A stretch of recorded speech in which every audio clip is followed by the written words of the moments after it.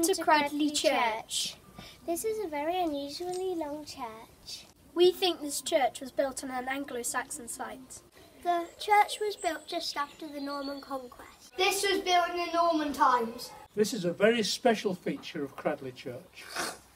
It's part of an arm of an Anglo-Saxon cross. At the top of the church in the southeast corner is a very beautiful window that we think says a lot about Cradley's values today. The window was given to the church in memory of Thomas Ayscough, who was the rector of the church for 25 years. Thomas's son was called Francis. Francis and his wife Florence lived in Shanghai for 25 years and were very keen on nature and gardening. It is no accident that the window is a picture of St. Francis. There are lots of stories about how St. Francis cared for the environment. One day, Francis was out in the countryside and suddenly he started telling stories to the birds, and they all came up on his elbows and wrists and they all flew around him. This is the grave of Francis's mother and his brother. If you stand by the communion rail, if you look out of the window, it will directly point to Francis's grave. Francis taught us all to care for animals and the environment. That is what we all try to do in Cradley today. We're here At John Richard's Nurseries. to see what's happening in Cradley today. John's nursery grows thousands of plants. There are about 30 people working who spend their time caring for the young plants. got grafting plants. That's acers. That's the best ones because we've got colors here. So that, that callus there is a bit like when you cut yourself and you get a scab.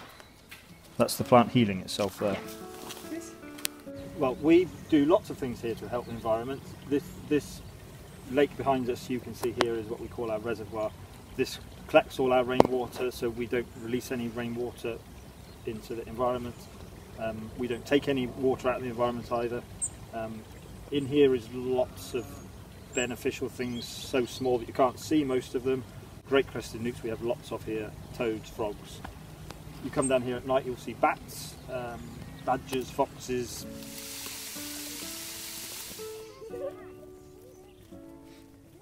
Let me introduce you to Mike, who is a vet working in the local community. What do you do, Mike?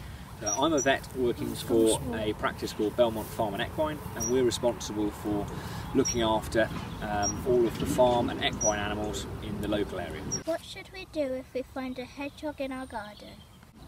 The most important thing to remember is that hedgehogs are wild animals, so nature knows best, and the best thing to do is to leave them well alone. But if it looks like it's injured, then you can very gently approach it, and if it doesn't run away, then it probably means that it might need some help. So ring your vet and tell, tell them what you're looking at, and then they might ask you to pick it up in a cardboard box and take it in, or they might ask you just to leave it well be. Where in the local community do you work? So my job means that we work out in the community on people's farms, on people's horse yards, and sometimes in people's homes as well. What is your favourite type of dog breed? I think Pepper would be quite upset if I said anything other than Labrador.